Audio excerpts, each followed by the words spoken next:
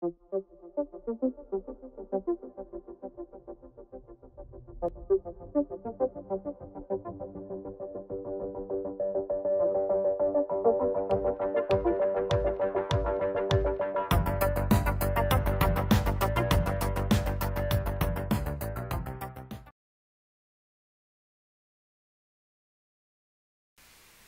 Okay, the last thing that we're going to look at in this introductory lecture to convective heat transfer is going to be a, an analogy between heat transfer and fluid friction.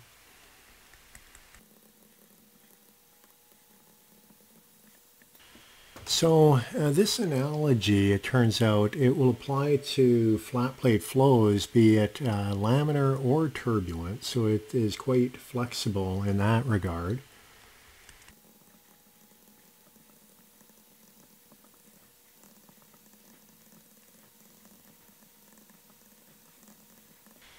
Okay, and, and so what this analogy is going to enable us to do, it's going to enable us to take uh, friction measurements on flat plate flows, so frictional drag, and relate it directly to the convective heat transfer coefficient H, which is what we're after here. So let's begin by taking a look at uh, wall friction or, or shear stress along a flat plate uh, boundary layer flow. And the friction coefficient, or the uh, shear stress, I should say, along the wall is related to the dynamic viscosity and the gradient of velocity in the y direction. And this can be determined in a number of different ways. Uh, but uh, typically the most common ways are either indirectly measuring the velocity profile and then taking the derivative and, and you get the wall shear stress. And another method is actually measuring the drag force. And with MEMS sensors, uh, that, that's becoming more and more possible. Uh, but but th this can be measured by And in measuring the velocity profile, what uh, is quite commonly used is a pitot-static tube called the Preston tube, which is basically a squashed pitot-static tube that enables you to go right along the wall and so the probe body itself would come up and away from the wall. Uh, let's see, I don't know if I can draw that in 3D, I probably can't, but let's give it a try. So you would have something like this where your probe body is coming up and then eventually it goes away from the wall and so your flow is coming in this direction here.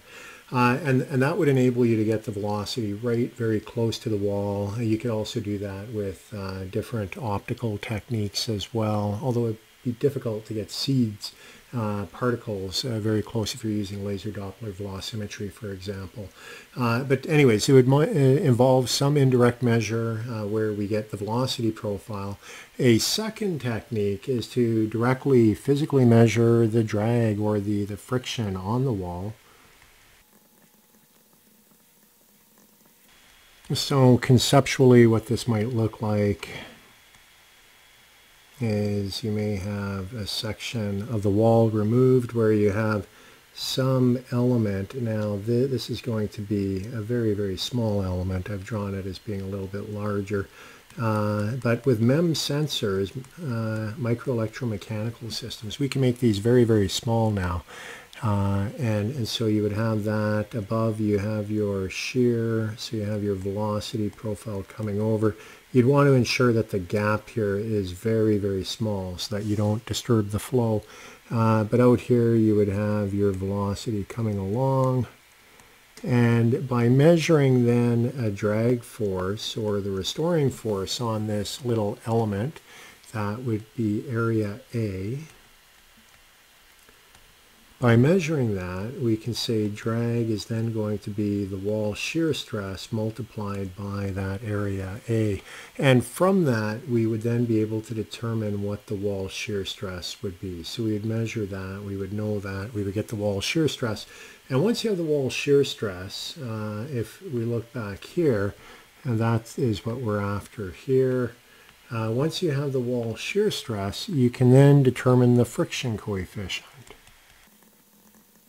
And so the friction coefficient, and I'm going to put it here as being a function of location on the plate, if we divide the friction coefficient by 2, we have our wall shear stress divided by the dynamic pressure, but I've divided by 2, so it's going to be rho u infinity squared. And for Blasius's uh, boundary layer solution, uh, he got 0.664 for the skin friction times Reynolds number to the minus 1 half. I've divided by 2, so that turns out to be 0.332 Reynolds number x to the minus 1 half. And it'll become apparent in a moment why I'm writing this out.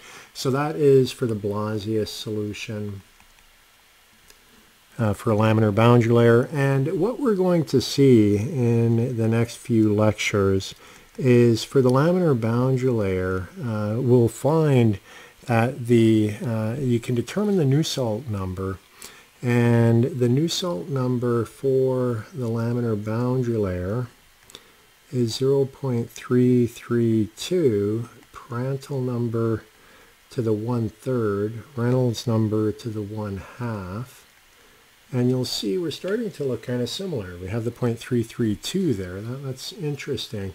And th this would also be uh, basically Blasius and energy using the energy equation, temperature profile. You can get the convective heat transfer coefficient from that like we've seen in this lecture. Now what I'm going to do, I'm going to divide both sides of that by Prandtl Reynolds number. So if we go Nusselt number x divided by Prandtl Reynolds number x, and here, oops, sorry, that's not one half, that was one third. Okay, so what we have here is this is going to result in Prandtl number to the two-thirds in the denominator. And I'm going to take that over to the left-hand side of the equation. And with that, we get Nusselt number x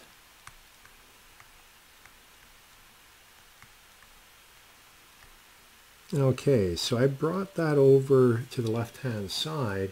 And then the other thing that we have here, we have Reynolds number to the 1 half divided by Reynolds number, that results in being Reynolds number to the minus 1 half. And so what we end up with on the right hand side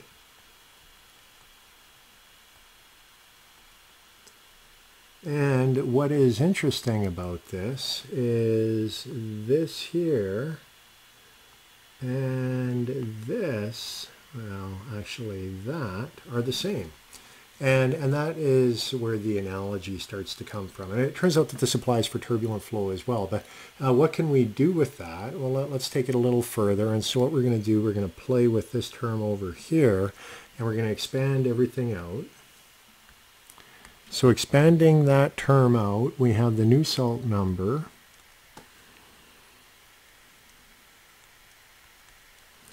We have Nusselt, we have Prandtl and Reynolds in the denominator, so I'm going to invert them.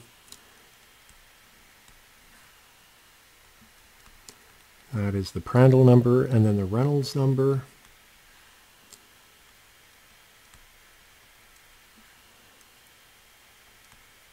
So with this here, uh, we can cancel some things. K goes with K, mu goes with mu, we have an x and an x. What we're left with, I think I've canceled everything out that I needed to. We're left with the convective heat transfer coefficient divided by rho c sub p u infinity. And that, I forgot something. I forgot the Prandtl number to the two-thirds. So let me pull that in this should have been multiplied by Prandtl number to the two-thirds. So we will keep it here. And then on the right-hand side, we had 0.332 REX to the minus 1 half.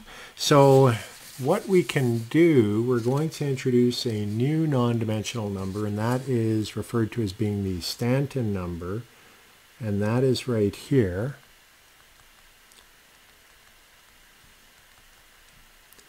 And it is given the symbol STX. Do not confuse it with the Strouhal number. Uh, we always have different numbers with hopefully different uh, letters, but in this case it looks like they're the same. Anyways, okay, so what do we get here? We get STX. So that is the definition of the Stanton number, and then plugging it into the above relationship, what we get is Stanton number, Prandtl number to the two-thirds is related to the local skin friction coefficient divided by 2. So what's so significant about that? Well, and let's see, before I get into that, I should say that this is restricted over a range of Prandtl number uh, some textbooks say 60, but essentially 0.6 up to about 50 or 60. Uh, what's significant about this is it applies for both laminar and turbulent, and, and this is referred to as being the Colburn analogy. And a fellow named Colburn came up with this, I think it was in 1933, and it applies for laminar and turbulent flow over a plate. And so what is nice about this is that there already is a great deal of data characterizing the skin friction coefficient over flat plate uh, boundary layer flows, laminar or turbulent. And so all of that data can be used in this relationship to determine the Stanton number, and from the Stanton number we get the convective heat transfer coefficient. So that's the beauty of this uh, it opens up a, a, lot of data that we can use for heat transfer calculations. And so anyways, that is the Colburn analogy, the Stanton number, uh, and we will use it from time to time and coming up with relationships that we will be using to determine the convective heat transfer coefficient. So that concludes this introduction. What we'll be doing in the next lecture uh, we're going to start going into further detail with uh, laminar boundary layer relationships and and then we'll start looking at different empirical relationships for determining the convective heat transfer coefficient.